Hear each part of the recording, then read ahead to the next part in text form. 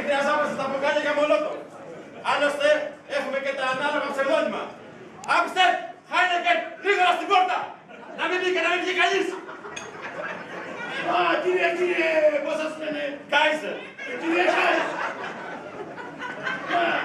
Κύριε Κάιζερ, εμείς εδώ είμαστε Ήρθαμε να διασκεδάσουμε. Ξέρετε, λόγω της κρίσης, λόγω των αποβιών, δεν, δεν μπορούμε να σας εξυπηρετήσουμε, κύριε.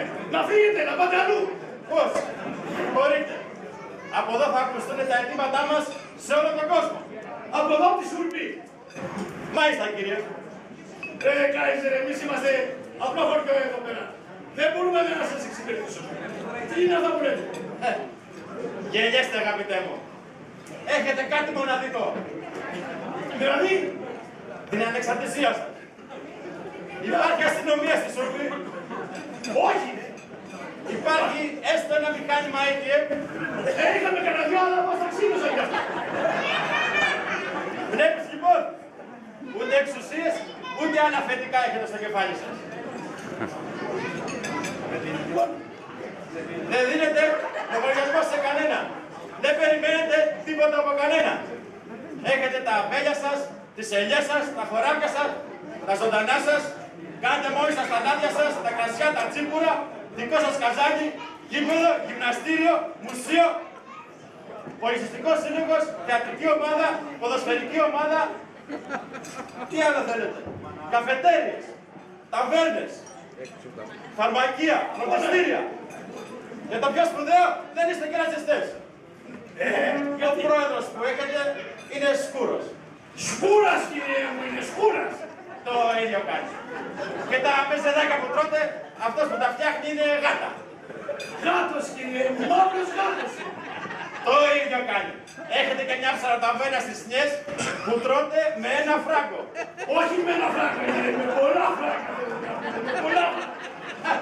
Απ' το άλλο, Ε, έχει κι άλλο. έχω ακούσει ότι έχουν περάσει από το χωριό σας σπουδαίες προσωπικότητες. Μεγάλοι ηγέτες. Έλα.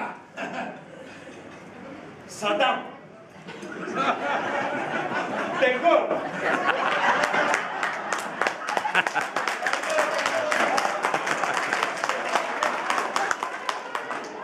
Μάο.